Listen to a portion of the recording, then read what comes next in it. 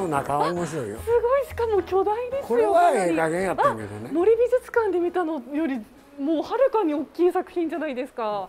でもこれは薄いのよ。全部い。いわゆる何？いわゆるシルクスクリーンの原理で全部やってるの。へえ迷路のインスタレーションです。ポリステル製の新聞紙の束に囲い覆われた空間は氾濫する情報に埋没する恐怖。あー不安感を示しています。確かにあの私も報道をやっているのでいろんな現場行くんですけども日々ね全然違う現場に行くわけですよね。うん。表面としてはどんどんどんどん変わっていくように見えるけどなんかその一瞬をこう作品として留めておくみたいなイメージがありますね。こうやって新聞とかでこうもう一瞬じゃなくてここに定める作品としてっていうどんどんどんどん情報って流れていきますからね。それは確かに私も日々感じてます。すごく。その時大事なことがどうでもようなるやろ。ーん。でこんなわあ風にすごい。ちょっと暗闇になってますよ。あーすごいですね。新聞の束がもうたくさん積み上げられていて。2000いくつある言うたあかな。本当ですか、うわーでも我々はこれだけ膨大ないつも情報に囲まれているっていうのを改めて突きつけられますね。そうね。なかなか目でね感じることってないですけど改めて見ると新う聞わー。これって実際あの三島さんが持ってる新聞とかですか？集めた新聞。それを図書館に行ってススキャンしてそれで版を起こさないかん。版を作らないかんそれぞれ。ほんでここのところへ転写せないかん 膨大な時間がかかってますね。結構時間かかるよね。あれは消防庁のせいであれ非常口ができてんけどはい。あれガーンってやったら開くねん。あここが？うんこれ燃えるやろ。あそうですね。だからまずいっいて言われてね。作る前に言ってほしかったんやけど。ここもあの侵入外のエリアですね本当は。よいしょよいしょ。そう。あとこんな風にやってる。まあこの裸電球も調光できんねんけどあんまり暮らしたらまずいから。あでも面白いやろ結ー構。面白いですね。なんかどっかのお墓へ来たような気もするやろ。なんか時代とともになんかね一緒に巡ってる感じもしますし。わあなんか三島さんがこう辿ってきたねえ人生を一緒にこれ読まれへんけどね読みにくいけど。覚なんか一つ記事見つけたいですね。でも英語が多くないですか？あの英日本語もありますけど。ねえなんか一つ見つけたい。これ英語やな。あこれそうだ。USD Today って書いてますかね。アメリカの新聞。毎日新聞みたいな感じですかね日本でいう。なんかいろんなのが USD Today 結構ありません？結構。あるみたいね。ねえ結構ありますね。ロックフェラーセンターで行った時に持って帰ってきてんやろうーん。えこの辺も英語やもんね。これが？2000 2000枚あるんです2000 2800ぐらいあるんだか2800らぐらいこの一つずつのこれをねやれば。あこの一つが2800ぐらいあってそれが積み重ねられてるんですか？そうそうそうそういう感じ。うーん確かに不安とか恐怖とかってね三島さんは表現されてましたけど改めて感じますよね。うわーなんか追われてる感覚です情報になんか。へえ。あそしてここを抜けるわけですね。わあまた広い広いで森空さんの間。とこに渡してるのがここにあったのね塔の四角いやつがああの森美術館にある。うん。これがこっちにあってちょっと狭苦しかったけど。あの森美術館にもですねこういう新聞紙が何個か積み重ねられている作品があって。中に鉄骨が入ってて、ね、そうですねこの半分ぐらいの大きさなんですけどそれが本来はここにあった。ここからお借りしてるものですもんね。だからわあ。それがいわゆるレンガの新聞なのね。一世紀分のやうん、これって何です？これも岩になるんつですこれ見てかね「ホシライズ・インフォメーション」まあつけたんだけどね印刷をちょっとして。これは塔に新聞の文字を印刷してえ書印付きの棚に並べた作品です。塔に新聞の文字を印刷した。読み上げた情報は無用となり物質性を持ちゴミとなる。そうですね。読み終わったものってゴミになるってね。いうことで新聞を割れて砕ける素材に置き換えることで日常にあふれる情報は脆いものだということを表しています。なるほどなるほど。なるほど。はあ。確かにこれとか文字見やすいんじゃないですかね。まあね。ね英語で。読みにくいよ、英語でね書かれてますけど。うん、うーん。それはこの上だってあるしね。これだってあることはあるねんけど。まあこれ見る方が分かりやすいとなんかあーすごい敷き詰められてます。レンガに今度は文字が投影されてそれがもう一面に敷き詰められてますき好きのね記事があるからね。薬の記事も多いし政治経済も多いけどあヒットラーも大震災もあるしね。あ大本営発表いうのもあった。あここや。ね。大本営を廃止って書いてあるよね。ーあーこれですね。逆になってる。は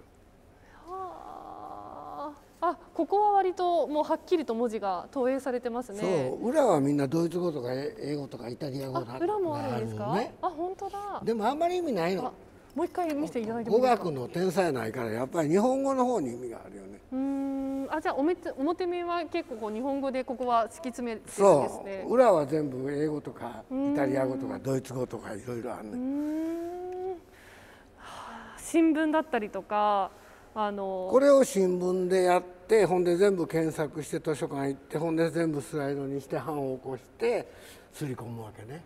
2 3 0年かかってるんちゃう？これ。ええ1万いくつあるから。20年。うわー。でも一緒やね。悩みは書くのゴミやから一緒やねんよねなんかあの新聞紙の束だったりとか岩だったりとかこういうレンガとかいろんなね素材で。これみんなあのあれよこういう耐火レンガでああいう台車のとこに乗ってたやつなのよ。それをガラガラやって入れてあのお茶碗焼いたりあんなんすんのよね。へえすごい。これ何個ぐらいあるんですかこのレンガは？1万何個か。1万いくら？1万いくつあるよ。うわーいろんなあの素材にね置き換えてるじゃないですか。新聞紙の束だったり岩だったり、ねレンガだったりとか。なんかうーん伝えたいことは全部一緒ですよね。その情報にこそう埋没されている。我々は。まあでも何でも手から取ったんやのうて好きなやっぱり生地を選んでんねやろね。ん。薬多いなと思って生地こっちの方が見やすいですよね。そうよ。裏はあんまり意味ないけどね。でも外国語の岩って。いちいち版作らないかんから大変よね。うーん。ソ連でシルクスクリーンって言ってもガリバ印刷の原理とよう似てるもんねあれ。あでもいちいちそれ版を起こしてほんですり込まないかんね大変だと思うあアメリカのでも関東大震災もあれば大本営もあるし。あ O157 都市圏に被害拡大。あんまり変わらへんように思うね。97年ですねこれは。O157 あセレンで原発事故かってこれはいつよね。ブッシュ政権。飛行機墜落。あこれは長野のやつ世界戦略の見直しも。うわあブッシュ大統領の時代かこれは。うーん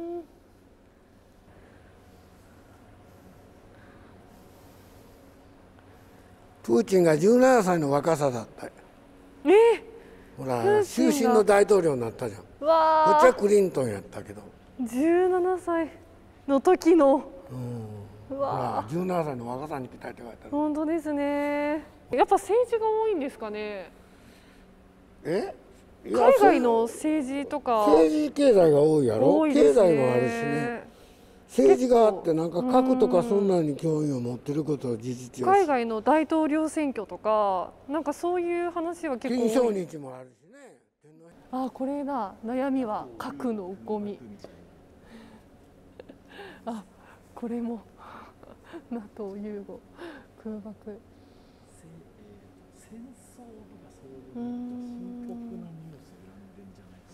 確かに難問の国境線引きとか確かにすぐにはこう解決できないような難しい問題とかそういうものを選んでることが多いような気もしますね。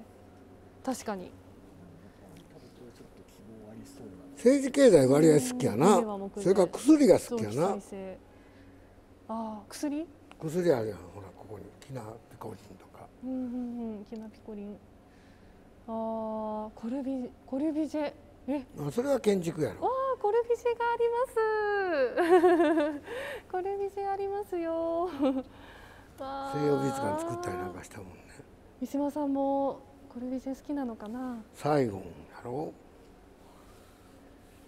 確かにあの明るいニュースっていうよりはそういう深刻なあのもう世界を震わすようなそういうニュースの記事が多いですね。なんかそういう情報とかもこう読んですぐポイってするんではなくて、ね、立ち止まって一回考えようっていうことでこう改めて残しているようにも感じますけどね。核のゴミ問題とかねいまだにこう解決してないような問題の、ね、定義のものがたくさんあってうーんそう月に。ああこれはちょっと希望的な話ですね。えー、月に人類がっていうお話ですね。うわあえ昭和44年ですって。うーん。たまにこういう明るいニュース見つけると嬉しくなるぐらいちょっと少ないですよね。明るいちょっと兆しのあるニュースは。ゴミ問題とかそういうのが多いので。へえちょっとでももう一回立ち止まって考えようよっていう感じに言われてるようにも感じますけどね。東京オリンピックの話とかあります？開くこれ64年のでも前のねオリンピックですけど。うーん。これはまた新聞これは紙です新聞のねやつね。あっちはチラシね。カラフルでしょあ本当ですね。これ白黒だけどこれ白黒やけどうはカラフル。これ英語やな。わあでもこれもあニれですよューヨーク・タイムねズやな。日本の新聞もあるし。あ本当ですね。ひらがな書いてますわ。バラエティーとか。ううんん。うんうん CPU まあこういうくしゃくしゃから始まったんよね。あでこれはなんか電子もみなこれはチラシでしょ。ーうーん2割5割やあこっちから挟み込んであるやつやろな。なるほど。マンションのあの、うん。郵便ポストとかに挟み込んでるあの特売日とかが書いてますね。そううん、だからそういうやつばっかりやこっちはカ380ラフルや円みたいな。あー。あー。でもなんかそういうなんですか？やっぱりなんですかね？広告みたいなその深刻なニュースじゃない時はこう色がついてたりするのも意味があるんですかね？なんやろううね、ん。こっちはカラーでであっちの英字新聞とか日本の新聞とか割とやっぱ重い内容だったんですよね。あそう？うん。は白黒で。こっちこれはちょっとポップにね見られますこれはもんね NHK にうまいこと言ってんでね。あー。0123はね。拝見しました、に日曜美術館。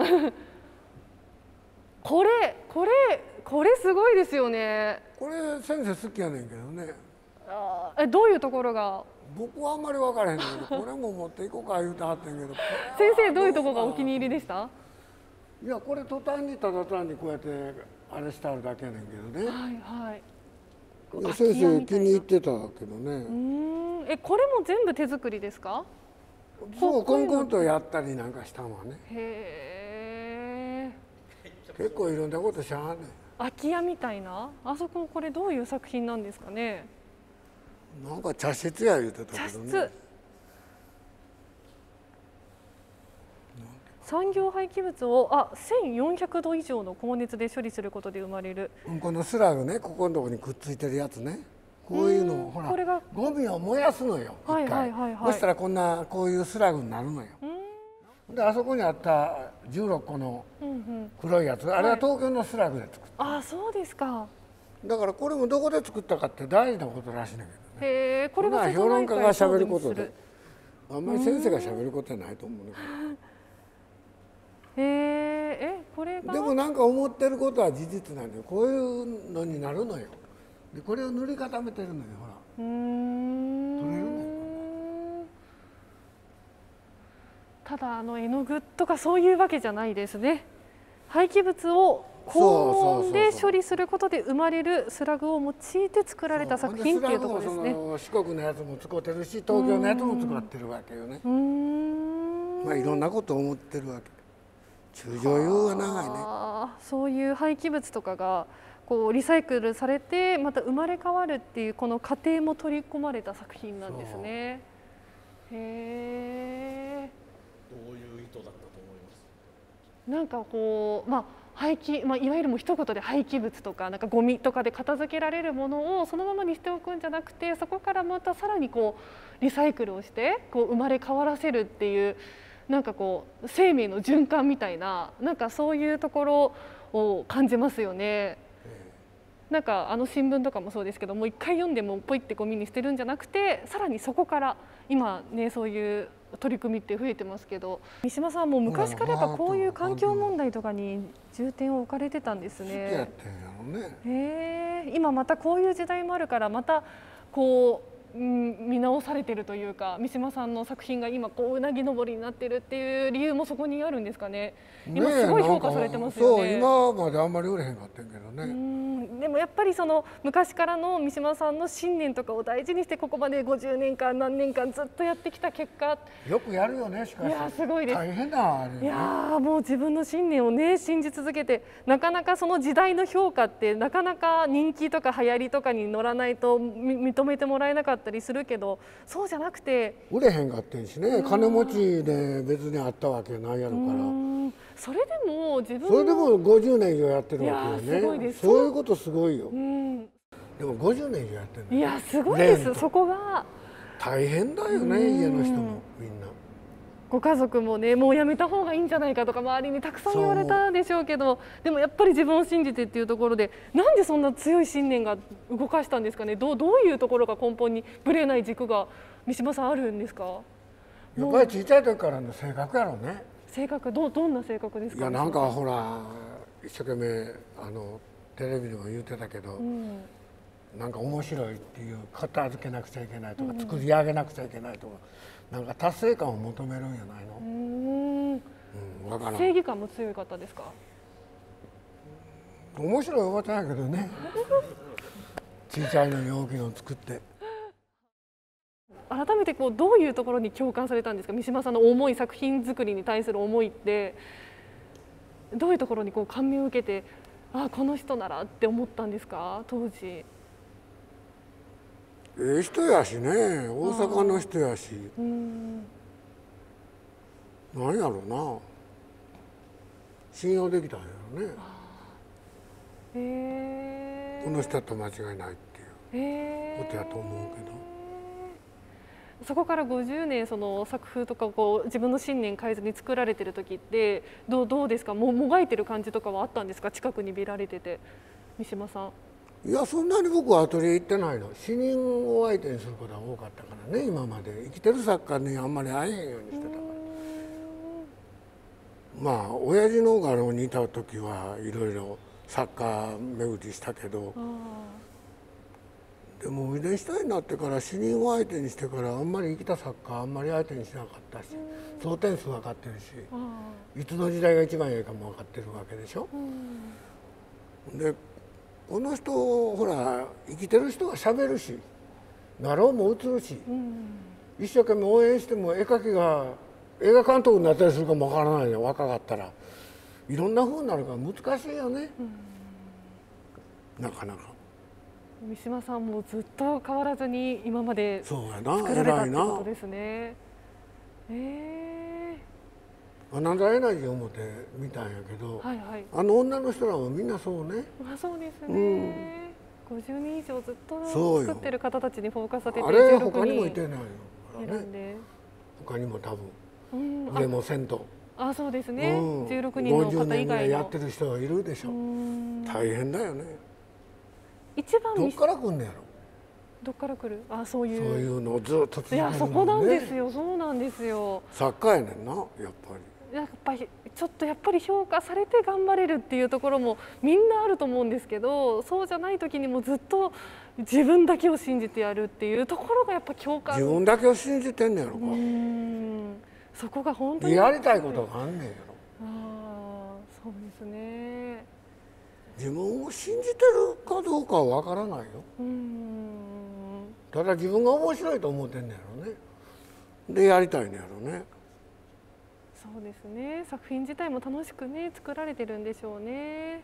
うんしんどいやろうけどね。ねえ本当ですね。すごいもうそんな結構小さいら体で重労働やのにねうん。一生懸命やってんの。88歳でもまだなお現役でされて。そえー嬉しかったです三島さんの。こんな大規模な作品を一堂に見られて。うよかったね。はい。ありがとうございます。いろいろしかも教えていただいて。いいえ。とんでもない。ありがとうございます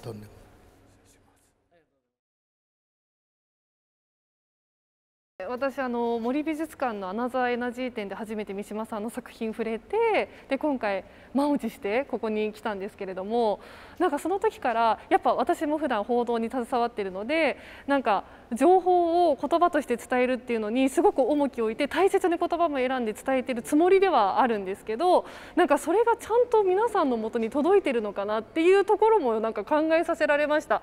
なんか改めて一言一言の重みとかなんかどういう情報を伝えたたらいいのかとか取捨選択とかなんかそういうところもなんか今後どうやって人の心にこう大切に一つ一つ置いていくかみたいなうん、なんかその手段をなんかこう学んだというか考えさせられた気がします。そうあの三島さんの作品もそういうあの戦争だったりとかなんかその大統領選挙だったりとかなんかその病気なんですか？O157 とかなんかすごいもう国が変わってしまうかのような世界の歴史に、ね、あの重きを置いた記事をたくさん選んでいてなんかそれが今もなお解決されてないところとかがたくさんあったのでなんかそういうところも我々も一歩立ち止まってなんかずっと考えていかないといけないなっていうこともとても思いましたねメッセージ性がとっても強かったです。はいねやっぱ三島さんも88歳で今もなお現役で作られてるそのパワーっていうのもやっぱり感じますしすごい作品の力がすごいですね。これ常設ですもんね企画展じゃないですもんね常設いつ来てもこの作品が見られるっていうところで東横インってやっぱすごいなって。あとあの偶然って言ってましたけど水島さん。あのこの倉庫街にこういう周りに工場工場地も多かったりとかあの処理施設が多い中でこの三島さんのこういうゴミ問題とかリサイクルとかそういうことに目を向けた作品がこの場所にあるっていうのもすごく私はとっても大切なことだと思いました。それが常設であるっていうね。うん。すごい すごいなんかわ見てこう綺麗だな美しいなっていうのはもちろんあるんですけど考えさせられることが多い作品ですよね。工場跡地にあっても負けないなんかなんなら説得力があるそこの場所にあることでのさらに説得力が増すような気もしますし、うん、なんかただごとじゃないぞっていう思いにさせられますよね。